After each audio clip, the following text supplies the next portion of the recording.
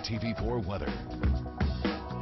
Welcome back. The update just in from the Hurricane Center on Hurricane Ignacio and Jimena. Let's take a look at what has changed or what hasn't changed. Starting off with Ignacio, now 660 miles to the southeast of Hilo tonight, so getting closer. But winds are still at 90 miles an hour, so it hasn't gained strength.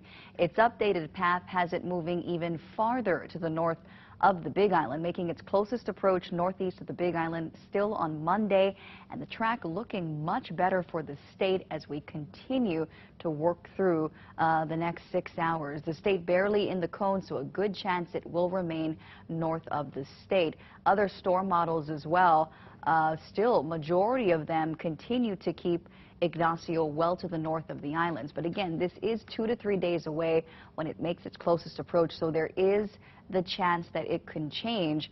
But uh, so far, so good. The trend has uh, continued to move it uh, more northerly than closer to the state. Now, even with this track here, the impacts that we are anticipating, because the storm force winds only extend up to 80 miles, uh, if this thing moves a little closer to the state, we could still be in line for damaging winds, maybe some heavy rain. So that's why it's important for you to stick with our weather team through the week. Uh, watches and warnings may take place as early as tomorrow, especially for offshore waters. So boaters, you, you really want to uh, keep updated with uh, all the latest on that.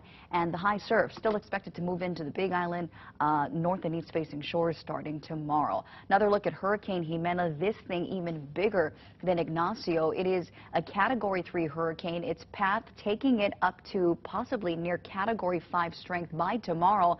That's winds at about 160 miles an hour. But you can see well away from the islands uh, by Wednesday, still hundreds of miles to the east of the state and uh, its track looking like it'll kind of shift a little more north-northwest.